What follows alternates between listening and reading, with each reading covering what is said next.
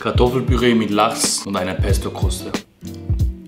Verliebt. Für unser Kartoffelpüree nehmen wir uns ein paar Kartoffeln, schälen sie, schneiden sie klein und kochen sie weich. Danach heißt es mit aller Kraft stampfen. Damit unser Püree schön cremig wird, geben wir Butter und Stück für Stück Milch dazu. Würzen noch mit Salz und Pfeffer und machen uns an unsere Pesto. Dafür braten wir zuerst ein paar Pinienkerne an und stampfen sie gemeinsam mit einer Knoblauchzehe klein. Geben unser Basilikum dazu sowie eine Prise Salz, Olivenöl und viel Parmesan. Gut vermischen und am besten, auch wenn es lecker ist, noch nicht ganz aufessen. Zum Schluss braten wir unseren Lachs in Butter an, über übergießen ihn mit Zitrone und würzen ebenfalls mit Salz und Pfeffer. Dann heißt es auch schon servieren und genießen.